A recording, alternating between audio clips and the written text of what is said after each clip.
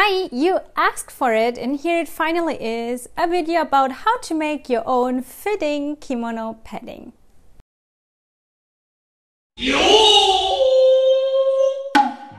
In case you're here for the first time, my name is Billy Matsunaga and I'm a fully trained and professional kimono teacher and stylist. Kimono padding in Japanese is called hoseigi. Stop, stop, Sorry, I have to stop here for a moment because I have to apologize and to correct myself. In my video two weeks ago, I was talking about ni hai ma geta that are actually called ni mai ha geta. I think you can see the twist here. By the way, the Japanese characters were ni, mai, ha, so at least uh, that was right. I thought it was a typo at first, but apparently I said it out loud several times in the video and I really want to apologize for that. But that shows we are all not perfect, right? when you ever hear me talking about ni haima geta on this channel again, because my brain seems to like that word way too much, just laugh and say, oh, Billy, her brain is just too messed up to get all that things right. So that was for that, and I hope you can forgive me and enjoy this awesome video. And I often get a lot of messages about do I really need that? And I would say it depends.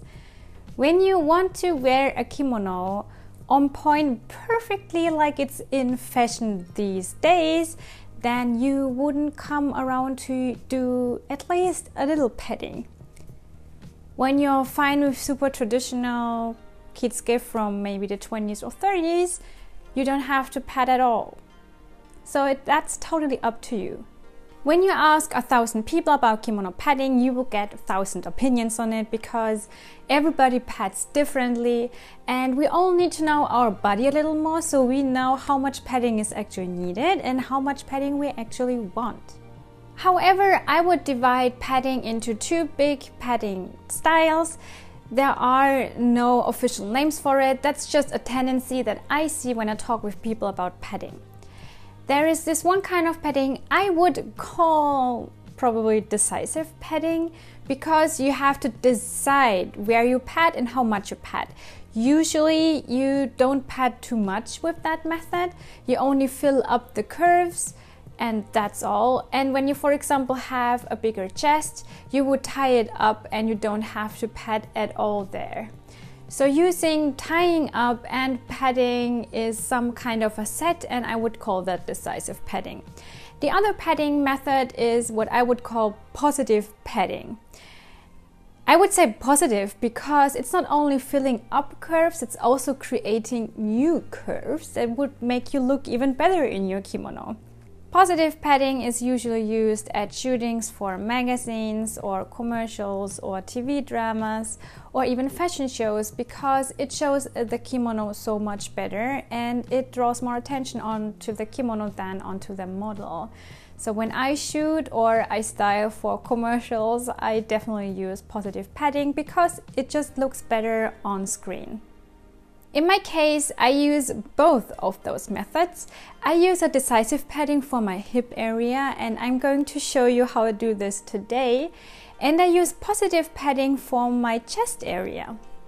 Because, as you can see, I don't have a chest at all. When you, for example, have bigger boobs and you wear some kind of a corset that squeezes them into the right place, you will have the perfect kimono body shape already. I don't have that, I do have to make that curve. You can see I positive pad from my upper chest area to my shoulders. So I have this nice curve and this makes look my collar even nicer. If you are interested in this chest padding, I would have to do a whole other video on this because it's uh, a little more difficult to explain. If you want to see that video, let me know down below in the comments and I will plan such a video for you.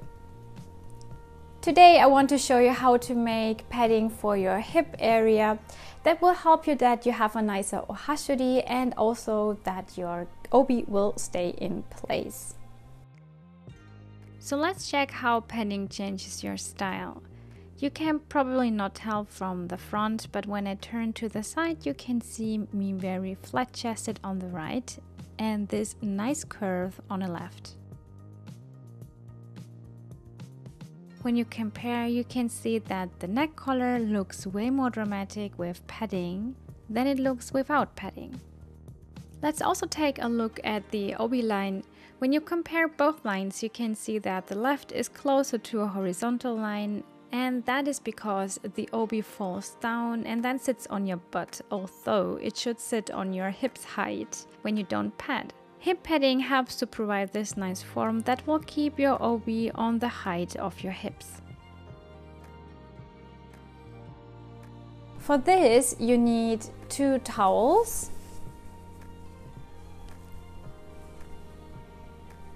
And I'm gonna measure them right now because I was too stupid to measure them beforehand and just tell you the length. 78 centimeter length. And I'm probably gonna put in the inches as well because I'm so sorry I can't do inches. And width is 36 centimeters um, if you don't have a towel in that size, you don't have to cut it. Um, try first to work with the length and um, the width you have. And you will also need a normal cotton strap you get at a sewing supply store. I bought um, 2.5 centimeters for this. Length depends on if you want to tie your hoseigi on the front or if you want to tie it on the back. I usually tie it on the back because I use my own hoseigi for shootings and when I style a model I actually stand behind her back when I put on her hosegi, so I rather tie that on the back then. So that's totally up to you. Because I want to tie it on the back, I got a 1 meter and 27 centimeter. Okay, so let's dive right into it. First, we have to make sure with what we are working. That's me without kimono, by the way. If we would want to positive pad the hip, we would have to fill in this whole spine curve to create a straight line. Decisive padding would only fill up the lower part of the waist to create this less dramatic diagonal line that will lead into the butt. This is what I am aiming for.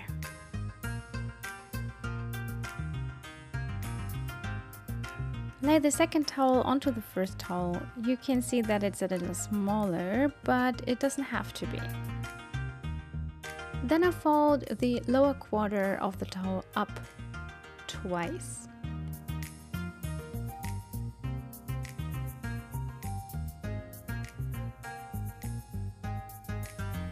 When you put the upper half on top of that, you are done.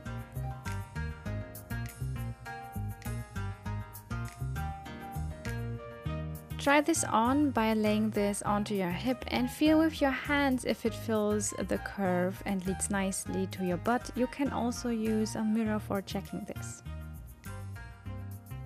If this is not enough padding, lay a smaller towel onto the center of the two towels. Make sure that it is not too long because you want to avoid to pad your belly. And then you fold the towels like before.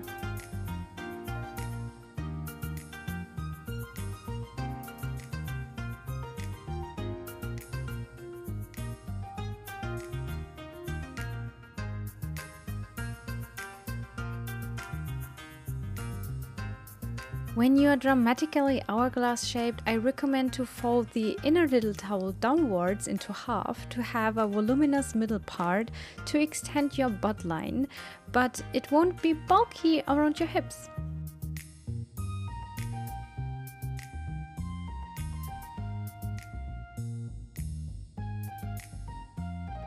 Try the Hoseigi on between all those tries to find the perfect size for you. when you have that, you can start sewing. I cut off the ends of the inner towel because I found them to be very bulky on the front and as I said before, I don't want to have a bulky belly.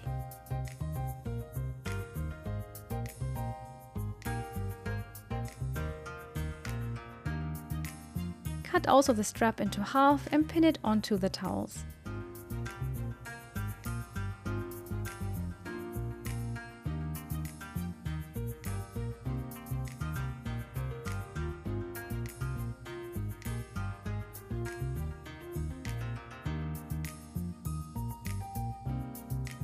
I recommend to hand stitch the hoseigi. You can do this however you want. I use a stitch that is called Chidorigake, but any other stitch just to keep it in place is fine.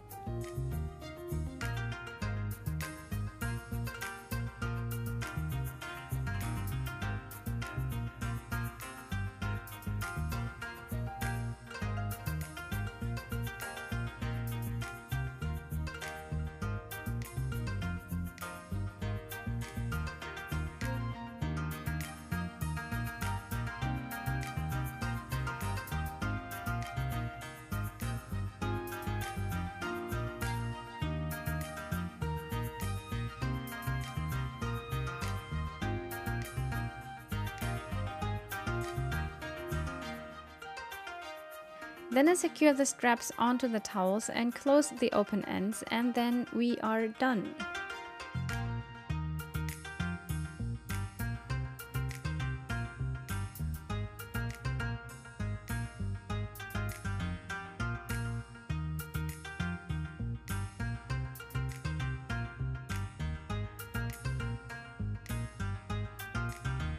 So now I'm going to try on the final product. You can see how nicely I achieved this diagonal line leading to my butt. This will hold my obi in place.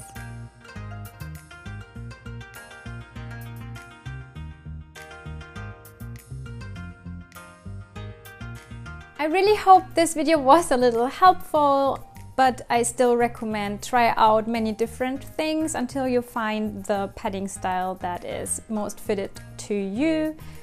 If you want to know how to have a neat ohashori, I have a video for that you might check out on this channel too.